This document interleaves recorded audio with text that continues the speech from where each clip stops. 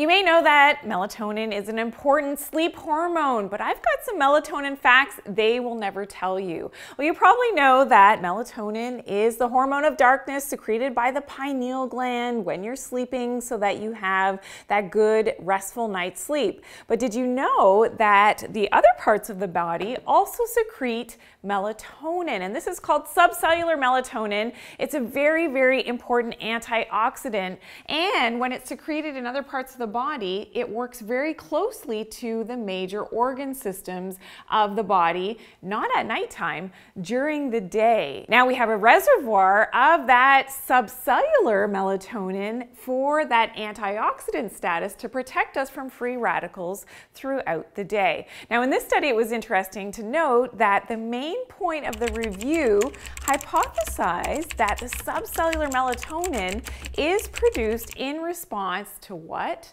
Near infrared photons. So we're talking about natural sunlight, and this is why I often talk about the importance of getting natural sunlight exposure every single day because it is related to our antioxidant status, keeping our cells healthy as we age, as it's related to that subcellular melatonin. Now, I'm not talking here about taking melatonin because I know a lot of people are thinking, okay, to increase my melatonin levels, I'm just going to take a melatonin supplement.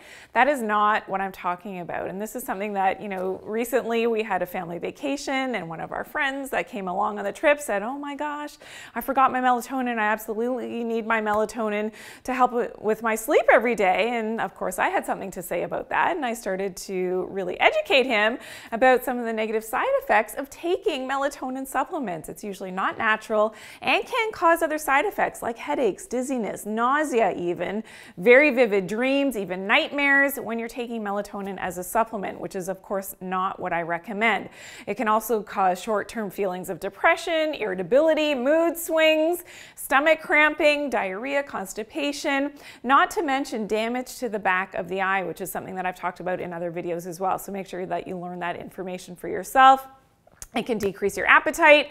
It can cause you to have to get up at nighttime to urinate and have reduced alertness throughout the day. So we're not talking about taking a melatonin supplement. We're talking about maximizing your own melatonin secretion, doing that naturally. One of the best things you can do is get natural sunlight exposure, especially at different times of the day. So those different wavelengths of natural sunlight exposure in the morning, midday, and at sunset are really helpful for your overall healing and and again, that subcellular melatonin. Now for more information how to increase your melatonin, please check out my video, how to increase melatonin for better sleep. I'll see you there.